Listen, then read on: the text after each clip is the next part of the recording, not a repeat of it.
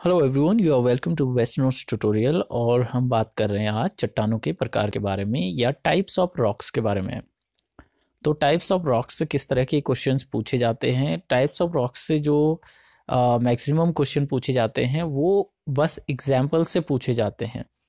बाकी चीज़ें से क्वेश्चन नहीं पूछे जाते, लेकिन फिर भी ये है कि अंडरस्टैंडिंग के लिए आप सारी चीज़ें देख सकते हैं। तो टाइप्स ऑफ़ रॉक्स में आप लोगों को इग्नियस आपके हो गए सेडिमेंट्री हो गया और मेटामॉर्फिक तीन टाइप के होते हैं। इसमें इग्नियस हो गया आपका अवसादी सॉरी आग्नेय हो गया यहाँ पे आप लोगों का। आप लोग लिख सकते हैं, अगर हिंदी में लिखना है। हिंदी में आप लोगों को नीचे सारी डिटेल्स आप लोगों के हिंदी में ही है। लेकिन जो इंग्लिश में है, वो भी लिख सकते हैं फॉर रेफरेंस रेफरेंस के लिए लिख सकते हैं। सेडिमेंट्री अवसादी वर्ड के लिए सेडिमेंट्री यूज़ किया जाता है। अवसादी चट्टाने, आग्नेय चट्टाने और मेटामॉर्फिक जो होता है, वो रूपांतरित चट्टानों को बोला जाता है। तो ये आप लोगों के पास तीन तरह की होती हैं। अब यहाँ पे लिखा हुआ है कि जो फॉर्मेशन है फॉर्मेशन किस तरह से होता है? तो जो इग्नियस रॉक का फॉर्मेशन होता है, वो थ्रू सॉलिडिफिकेशन ऑफ़ मैग्मा और लावा जब मैग्मा या लावा आ, मैंने आप लोगों को बताया था कि जो लावा होता है वो बाहर निकलने के बाद मैग्मा को ही लावा कहा जाता है।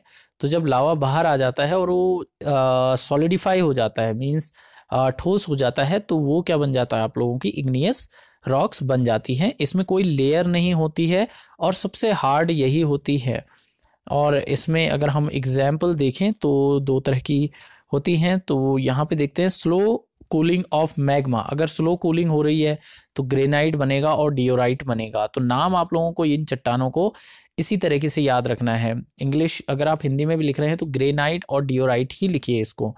और गैब्रो तीसरा, दूसरा जो प्रकार होता है, वो होता है एक्सट्रूसिव एक्सट्रूसिव वो टाइप होता है कि जहाँ पे रैपिड कूलिंग होती है।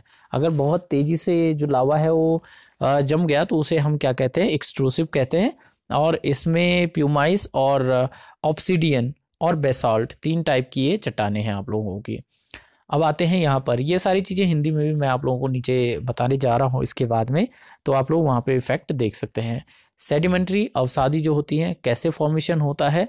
कंपैक्शन ऑफ़ सेडिमेंट्स अगर कोई चीज़ सेडिमेंट हो गई है अवसाद के रूप में या जमा हो गई है नीचे आ, पानी के नीचे वगैरह तो वहाँ क्या होता है या ज़मीन पर भी कोई चीज़ जैसे एक पहाड़ टूट रहा है और धीरे धीरे किसी जगह पर वो क्या हो जाता है जमा हो जाता है तो बाद में सॉलिडिफाई हो जाएगा तो कुछ ना कुछ वहाँ पर बन जाएँगी। जो इस तरह की जितनी भी चट्टाने होती हैं अवसादी या सेडिमेंट्री ये इजी टू क्रम्बल होती हैं जल्दी से उनको तोड़ सकते हैं। और यहाँ पे लेयर बनती जाती हैं तो लेयर होती हैं। यहाँ पे कोई लेयर नहीं थी, यहाँ पे लेयर है आप लोगों की। ये इजीली टूट जाती हैं। ये हार्डेस्ट ऑफ़ ऑल सारी चट्टानों में सबसे तो आप लोग देखते होंगे कि जो किचन में मॉडर्न जो किचन्स बनते हैं, उनमें जो पत्थर लगता है, वो यही वाला लगता है ग्रेनाइट वगैरह। तो आप लोगों ने देखा होगा, बहुत हार्ड होता है। उसके बाद अगर हम बात करें कि इसमें अगर टाइप्स के देखें तो क्लास्टिक हो गया आपका केमिकल हो सकता है और ऑर्गेनिक हो सकता है। तो इनके जो हैं वो सैंड स्टोन हो गया आपका कॉन्गले मैरिट हो गया, यहाँ पे आयरन और या रॉक साल्ट ये सभी क्या हैं आप लोग की सेडिमेंट्री हैं। कोल हो गया लाइम स्टोन हो गया।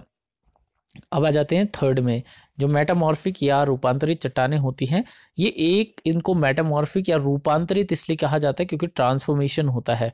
एक चट्टान से दूसरी चट्टान में क्या हो जाता है, उसका रूपांतरण हो जाता है, या चेंज हो जाती है। ये समटाइम्स ये लेयर में होती है समटाइम्स ये लेयर में नहीं होती हैं। अगर हम बात करें कि ये रिलेटिवली हार्डर होती हैं सेडिमेंट्री रॉक के रिलेटिवली अगर हम देखें मीन्स अगर सेडिमेंट्री रॉक और मेटामॉर्फिक रॉक में बात की जाए कि सबसे ज़्यादा ज़्यादा मज़बूत कौन सा होगा तो मेटामॉर्फिक होगा। इसमें आप लोगों के स्लेट होती है और दूसरा हो गया जेनियस हो गया आपको, आपका।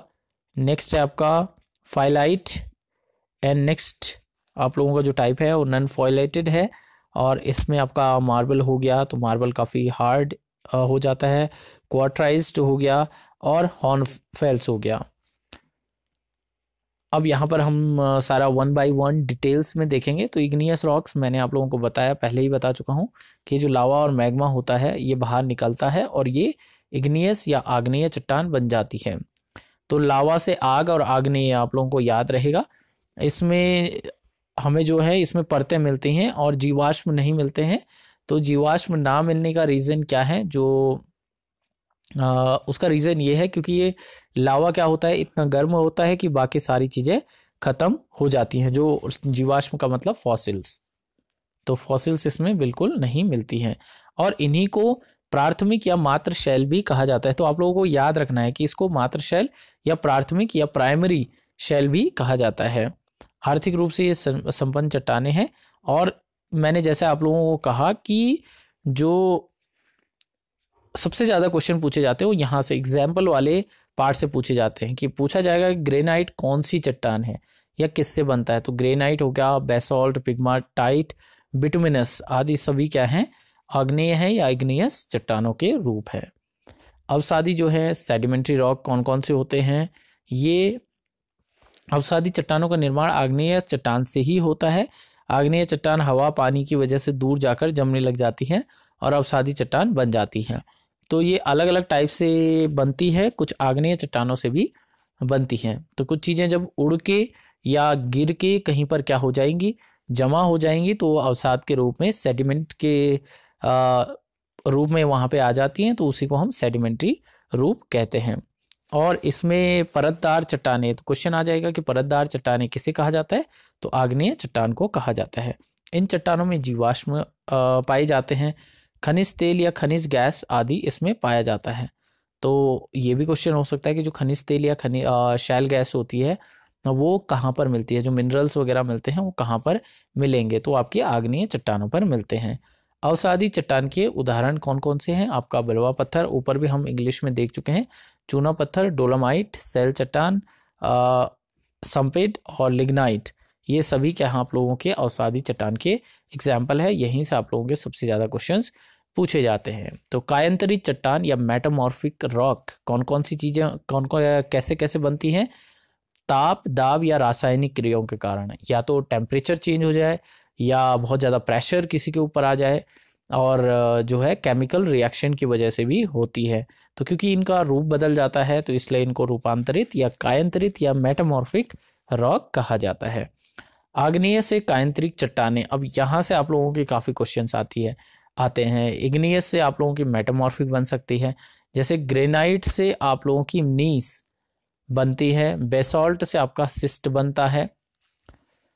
जो बलवा पत्थर होता है, इसी से क्वार्चाइज क्वार्टा क्वार्टजाइट बनता है और जो चूना पत्थर है, उसी से आप लोगों का संगमरमर बनता है। तो यहाँ से आप लोगों को याद रखना है ये सारी चीज़ें। कायंतरित चट्टान के उदाहरण और रूपांतरित चट्टान के उदाहरण अगर हम देखें मीन्स जो मेटामॉर्फिक है ग्रेनाइट नीस जो है, ग्रेनाइट नीस नीस क्या आपका कायंतरित है बेसॉल्ट सिस्ट बेसॉल्ट क्या बनता है? सिस्ट और जो आपका क्वार्टजाइट है, वो बनता है आपका बलुआ से और चूना पत्थर। ये ऑलरेडी हम लोग देख चुके हैं। चट्टान या शैल रॉक किसे कहा जाता है? तो सिंपल सा ये काफ़ी इजी है कि पृथ्वी के सतह के कठोर भाग को क्या कहते हैं हम? चट्टान कहते हैं।